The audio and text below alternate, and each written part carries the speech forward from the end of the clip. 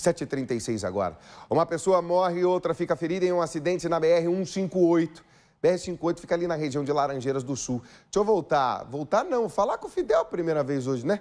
Falei com ele ainda. Fidel Alvarenga, um ótimo dia para você, meu amigo, porque a polícia já confirma que teve imprudência nessa história. Fidel, seja bem-vindo.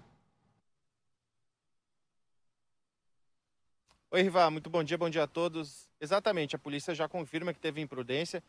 É, esse acidente aconteceu em Laranjeiras do Sul, na BR-158.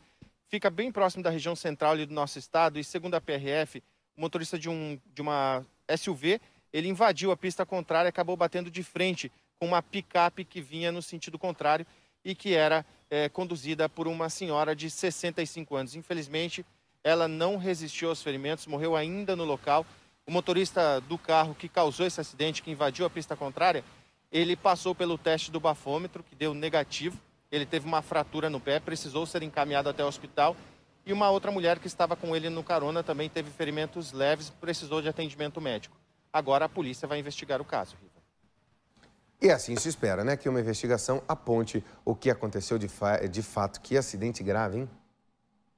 De novo, né? Num local que não é, é não é permitido fazer ultrapassagem para o lado de lá e para o outro lado da pista. Né? Local de curva acidente de frente soma-se as velocidades. Se um tiver a 100 e o outro tiver a 150, o efeito da batida dentro dos carros é como se fosse 250 por hora em cada carro.